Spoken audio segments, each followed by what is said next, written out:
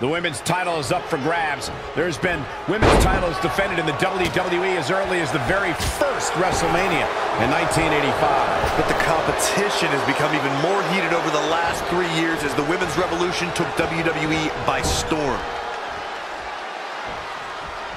Not what she was looking for. That is a great reversal. Oh, a drop kick. Oh, nasty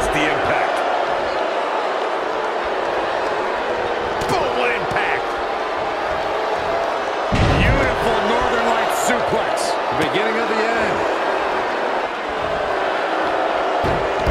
Guillotine applied, and Nikki Cross hold on.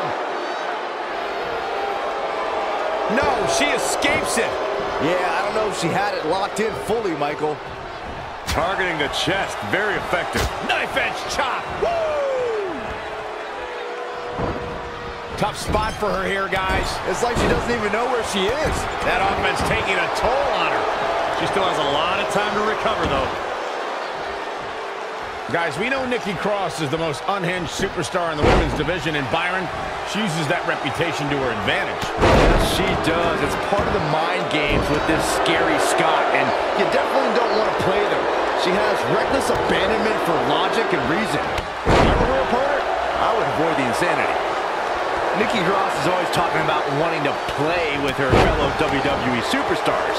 She's in the ring with one of them now. What exactly does play actually entail? Well, think about anything you could possibly do in that ring, and that's what Nikki considers play. She might go after her opponent with a flurry of strikes. She might start busting out a series of suplexes. You never know what you're going to get with Nikki Cross, and that's both her biggest strength and weakness as a WWE superstar. It could truly... Here's the early cover from Nikki Cross. Kicks out in the nick of time. Try for it early. We touched on how Nikki Cross uses her reputation to play mind games. What do you think, Corey? Is Nikki's plan to get into her opponent's head? Does Nikki Cross look to you like someone with a plan?